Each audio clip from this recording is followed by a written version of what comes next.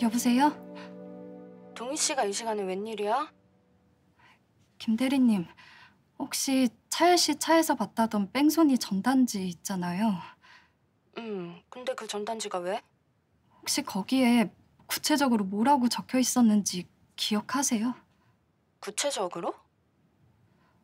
어, 뺑소니 사고가 난 장소라던가 아니면 날짜 같은 거요. 장소는 모르겠고 날짜까지는 기억이 안 나지만 2014년이라고 써있던 것 같은데 2014년이요? 어 확실해요, 김 대리님? 정말 2014년이라고 적혀 있었어요? 그렇대도? 근데 왜? 아, 아무것도 아니에요, 김 대리님. 감사합니다.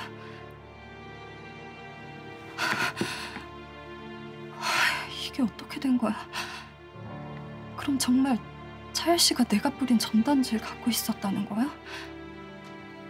아, 도대체 왜?